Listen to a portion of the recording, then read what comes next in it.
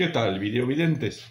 Bueno, un videito corto que no creo que aporte mucho, pero es a pedido a Juanqui, pedido de Juanqui, que aparentemente es un colega, es decir, es veterinario, y parece que también le gusta el tema herramientas y bueno, el contenido de mi canal.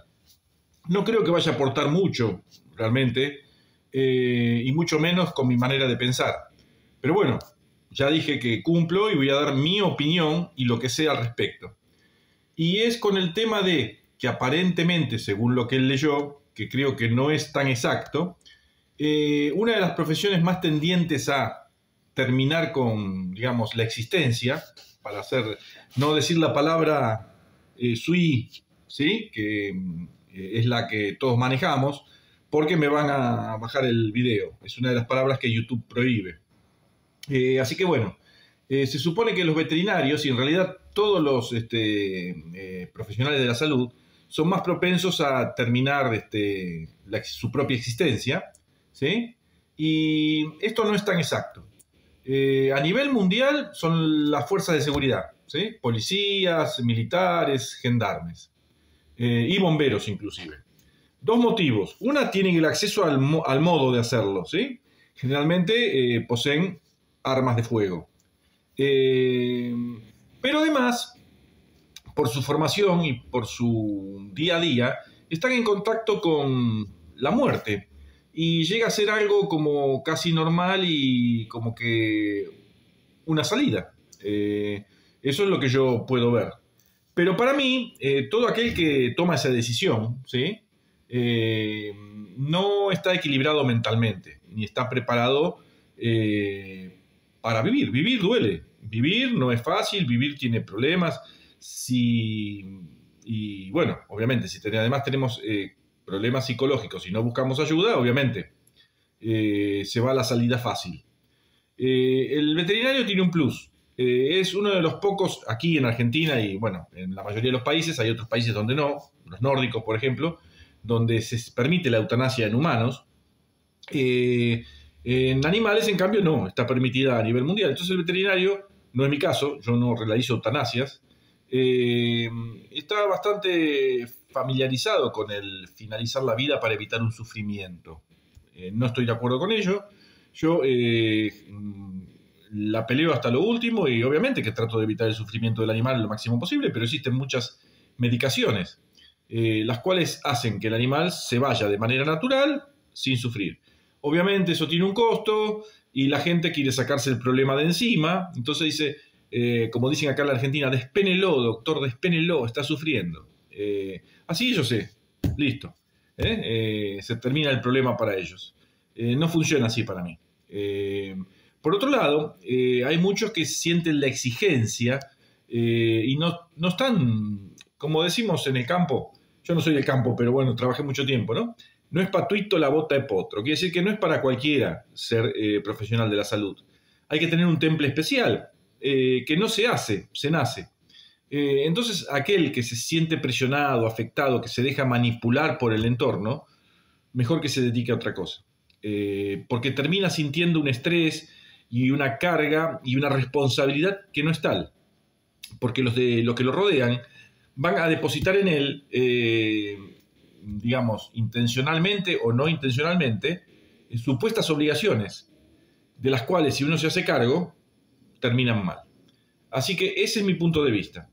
Eh, vuelvo a repetir, eh, es verdad que los eh, profesionales de salud están más propensos, pero ya digo, expliqué, tienen los medios, en nuestros casos sustancias, en el caso de las Fuerzas Armadas, de las policiales y de los bomberos, tienen armas de fuego, y además, ambas profesiones están en contacto, con la vida y con la muerte en forma diaria y se puede llegar a percibir como eso como una salida normal. Con el plus de los veterinarios, ya digo, de tener el permiso de matar.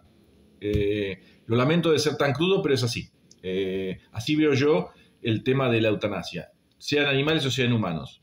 Eh, hay que tener el temple necesario para afrontar la vida.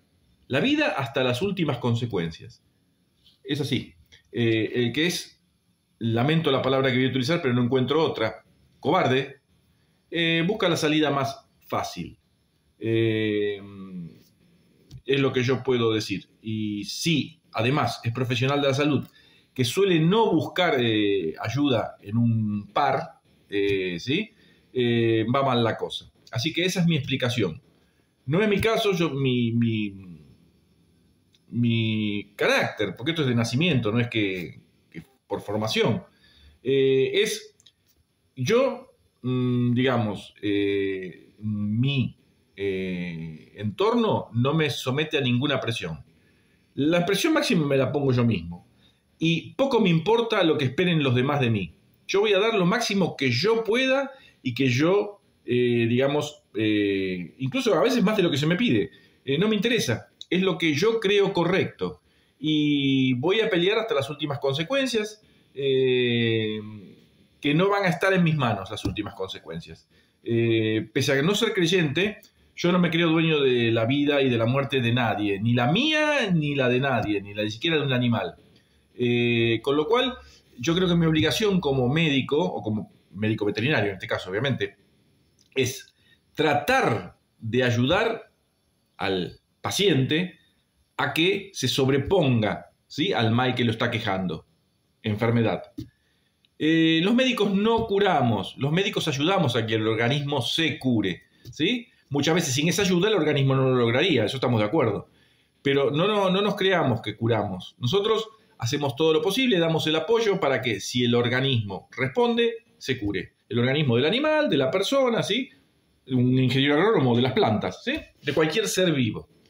Ahora, si uno se cree que es responsable de la vida y de la muerte eh, y que uno debe responder a las exigencias por ejemplo, de los dueños de los animales y se siente presionado, que se dedique a otra cosa. Eh, es un consejo sano.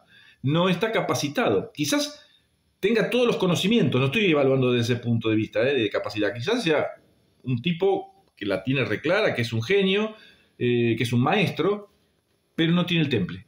Y sin temple no hay ninguna profesión que termine bien, digamos. Desde el punto de vista de lo que uno puede brindar y desde el punto de vista del daño que uno se puede hacer a sí mismo. Así que, estimados, sea cual sea su profesión, si ustedes no son capaces, no tienen el temple para afrontarla sin sentirse presionados ni responsables eh, de los que se espera de ustedes, eh, abandónenla y dedíquense a otra cosa. ¿sí? Eh, no es sano y mucho menos si no son capaces de pedir ayuda. ¿sí? Porque muchas veces, si no lo podemos hacer nosotros mismos, si nuestro carácter eh, es pusilánime, si no, no tenemos la fuerza necesaria, no es crítica, es así, eso es de nacimiento, uno no lo elige, ¿sí? Eh, y si no es capaz de pedir ayuda, bueno, la cosa termina mal. El otro que no se discrimina es por sexo. Yo creo que las hormonas tienen mucho que ver también en el tema de eh, esas malas decisiones de vida, vamos a decir, en cuanto a poner fin a la existencia, ¿no? Entonces, en veterinaria, por lo menos aquí en mi país, eh, hace muchos años éramos casi 50-50, varones y mujeres. Hoy por hoy son más mujeres que varones. Eh, y yo creo que eh, el hecho del... No, se lo tomen, no soy este, machista ni mucho menos, pero la fisiología de las hembras es muy distinta a la del macho. El macho es tónico, ¿sí? O sea que su, no tiene ciclos en su sistema nervioso central. La, mujer sí está muy afectada por las hormonas, hay ciclos. Eh, por eso los cambios de humor, el, típico cuy le bajó el periodo y se puso de mal carácter. Sí, es una observación muy grosera, pero es verdad, las hormonas alteran. Entonces también eso hay que tener en cuenta, el tema hormonal. Y hoy por hoy muchas medicaciones que se toman que parecen inofensivas que también alteran eh, de manera por ahí inadvertida los comportamientos. Así que ese es mi resumen. Eh, Juanqui, eh, lamento quizás no sea lo que esperabas, pero por mi forma de ser, por mi carácter, vuelvo a decir, eso es lo que pienso, lo que creo, y mi consejo es para todos aquellos que no tengan el temple, que no se sientan ¿sí? Eh, capaces, que se sientan presionados en lo que están haciendo, van a terminar eh, mal. Así que traten de tomar otros rumbos. Saludos y hasta el próximo.